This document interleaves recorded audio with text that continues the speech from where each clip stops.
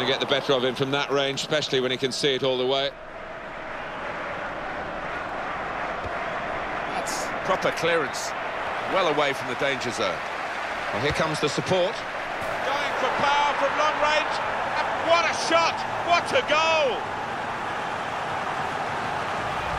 Oh my word, I can't believe he's done that. So far out, he's put his foot through it and found the top right-hand corner. Incredible. It's a goal worth looking at again, isn't it?